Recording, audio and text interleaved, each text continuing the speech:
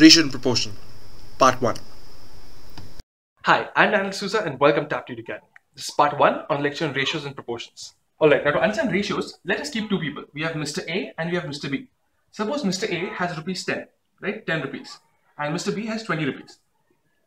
Right? Now, ratio is basically a fraction. So you're basically saying, what is A by B, right? Mr. A by Mr. B. Alright, so here you will get 10 by 20. Now, it is also related to the HCF. Now, HCF is your highest common factor. Now, I'll make a separate tutorial on HCF and LCM later, but as of right now, just understand this. So what you do is, you break this up into its factors. So 1 is a factor, 2 is a factor, 5 is a factor, and 10 is a factor. Here you will have 1, you will have 2, you will have 4, you will have 5, 10, and 20, right? So highest common factors. Factors, you've got all of them. Now, which is common among all of these? You have 1, 2, 10, 1, 2, 5, and 10, 1, 2, 5, and 10, right? Now, out of these 1, 2, 5, and 10, which is the highest one? 10. So 10 is your HCF. So now to find the most simplified version of this, the ratio, you need to divide it by the HCF. So 10 by 10 is to 20 by 10. So it comes out to be 1 is to 2. So basically what this ratio is saying that whatever Mr. A has, Mr. B has twice of that.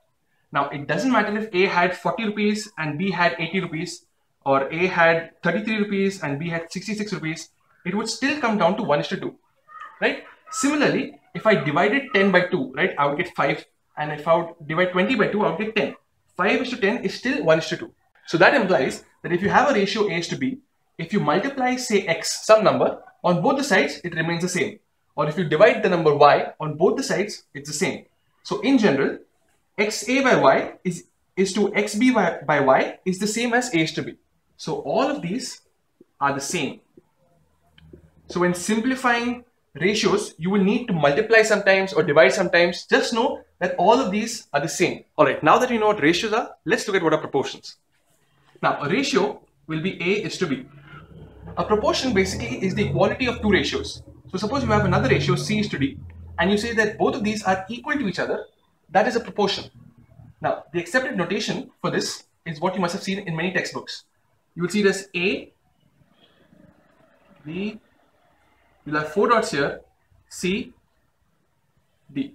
Now, how I remember it is two, two dots signify two words, is 2.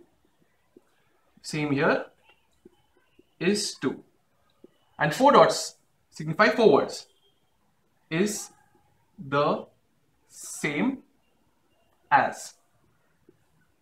So, you will read it as A is to B is the same as C is to D right? So you're basically saying A is to B and B is to uh, C is to D is the same. All right. Now by the notation, you have A is to B is to C is the same as C is to D, right? Now you have certain names for these. The ones on the outer are called as extremes for obvious reasons, and B and C that are inside are known as the means. So a very important property in proportions is that the product of the extremes is equal to the product of the means. So you're basically saying A into D is equal to B into C. Now, how this came about is you just convert this to fractions, right? A is to B is A by B and C is to D is C by D. So proportions basically say that both of these are equal. If both of these are equal, you just cross multiply. So take D on the side, B on the side. So you will get AD is equal to BC. Another very important rule in proportions is known as the componendo and dividendo rule. Right. This is the fanciest name you'll come across in your aptitude studies. So it basically says that if you have a by B is equal to C by D, right? That is the definition of a proportion. Then A plus B divided by A minus B is equal to C plus D divided by C minus D. This is a very important formula that you need to remember. Alright, now with that intro, let's solve a simple sum. Problem 1. Divide rupees 672 in the ratio 5 is to 3. This example is supposed to cement your understanding in ratios. So, suppose we've got to divide rupees 672 in the ratio 5 is to 3. That is what the sum says, right? So let's assume that we have a gold disc. Now, realistically, you're not going to get any gold disc for rupees 672. So, now what we can do is, we have to divide it in the ratio of 5 is to 3. So, assume there is person A and there is person B. Right? So, B should get 3 and A should get 5. So, the ratio A to B should be 5 is to 3. Now, what I can do is, I can make 8 parts, right? 5 plus 3 and I can give 5 parts to A and 3 parts to B.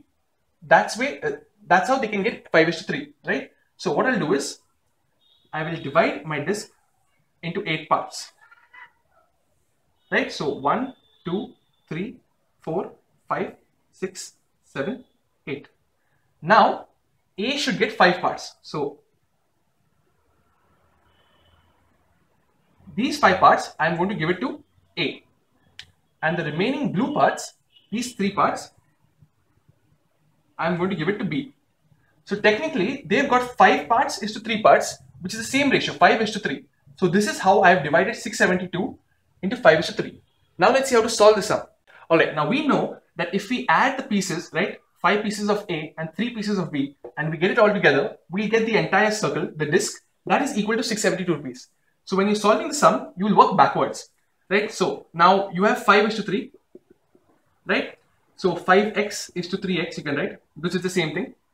Now, if I add 5x and 3x, that is A's part and B's part, I should get 672 rupees, right? So 5 plus 3 is 8x is equal to 672.